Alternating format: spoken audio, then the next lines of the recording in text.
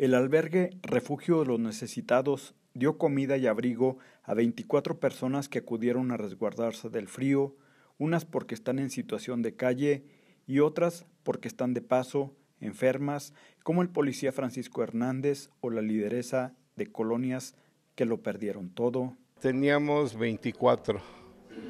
Eh, vienen, se van a trabajar y regresan. Ahorita no están la mayoría, y ayer llegó uno que está ahí sentado. Ellos vienen aquí, duermen, aquí cuando quieren al mediodía hay comedor de lunes a viernes, ¿verdad?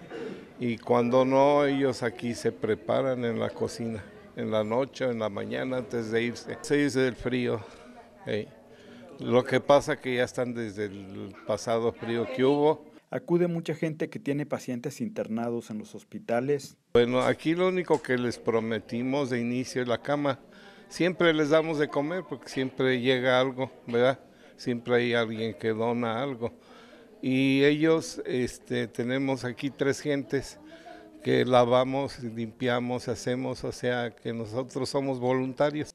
Y gente que está de paso o que de plano no tiene dónde vivir.